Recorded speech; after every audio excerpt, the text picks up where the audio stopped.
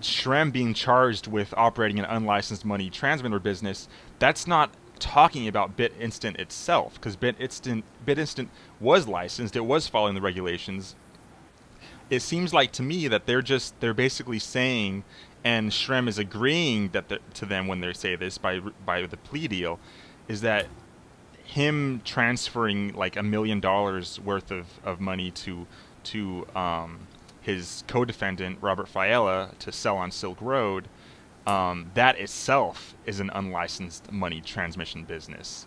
So um, it's it's kind of it's kind of weird how the the legal system is trying to um, basically say that you know you don't have to have an actual company that doing this stuff. If you are transacting like a million dollars or more in in Bitcoin transactions, that are tangentially related to to an illegal enterprise, then they can try and hit you with this money license, you know, transmitter thing anyway. Um, which you know, pretty pretty interesting that, that they, they, that they can do that, and that defendants might actually plead guilty to that. Um, so I guess if for anyone you know thinking that oh like I've made this great Bitcoin business, I'm good, I'm fully licensed, I'm fully regulated.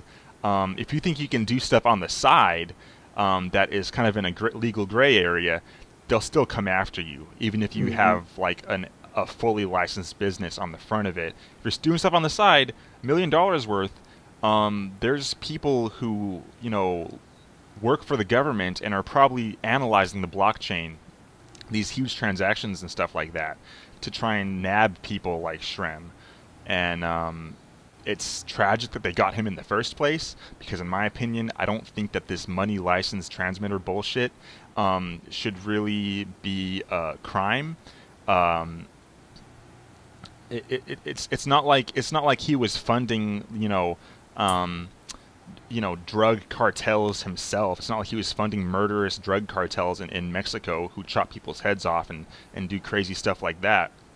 He he was just you know, if the allegations are true, he was just um, helping uh, uh, an existing market, um, you know, need. Uh, it just happened to be an unregulated, um, totally free marketplace that was created on, on the dark net, and he wanted to support that, and he also made some money off it at the same time, which really pissed off the government. If you are helping out illegal activities and you're also making a lot of money off it, that's when they'll that's really when they'll come after you. So uh, yeah, yeah. yeah uh, Shrem's or the original charge that he pled not guilty to was conspiracy to commit money laundering. Uh, so it, it sounds like Faiella was you know the real the real criminal, the guy who's like actually laundering the coins and you know Shrem was using BitInstant to give him access to cheap coins. So Shrem was basically guilty of being associated with a money launderer, and you know the government is accusing or accused him of um, of knowingly contributing to a money laundering operation. Um, and then when he decided to plead guilty to lesser charges, which ended up being unlicensed money transmission, running an unlicensed money transmission business.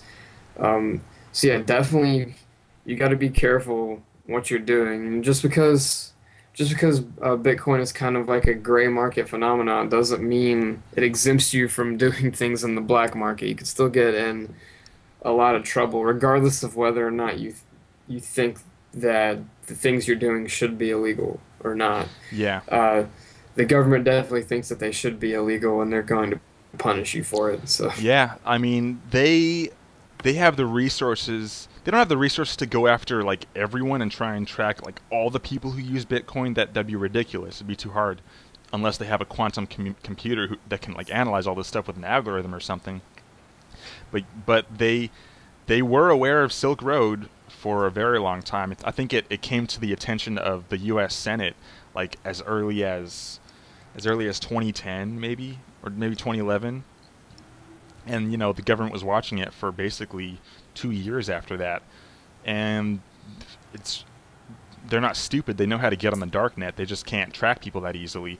But like if if they notice that a certain seller is making a, a ton of money um, doing this stuff, like they're they're gonna go after the big the big fish first, and you know they They went after Ross Ulbricht. They went after Charlie Shrem, the people who are basically dealing in, you know, at least a million dollars worth of Bitcoin um, for for this enterprise. And like, they if if the allegations are true, they had some balls. They had some balls doing this stuff, and and apparently like.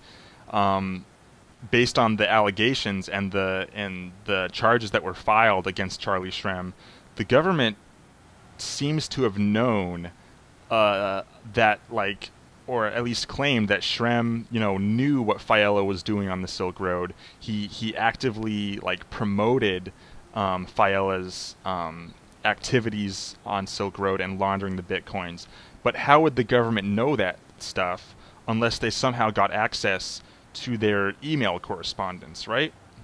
Like how how do you discern someone's motivation uh, based on their even if you can analyze the blockchain and all that um, they, they must have found a way to track their email correspondence or message correspondence or something and uh, basically try and try and discern the motivations of, of Shrem and uh, and and use that in the case against him. So that's that's like another that's another aspect to this that kind of brings up privacy implications. Like like they they have they have the resources to to pull up email databases with the help of the NSA and um, and and try and you know spread that spread that uh, information across these various federal agencies to to try and catch people like this who are making millions of dollars on the you know online crypto black market. So they've got the resources to go after the big fish for sure. Yeah, and a few weeks ago, um, you know, Ross Ulbricht's defense team basically accused the FBI of of searching uh, Silk Road servers and Ulbricht's computers without a warrant.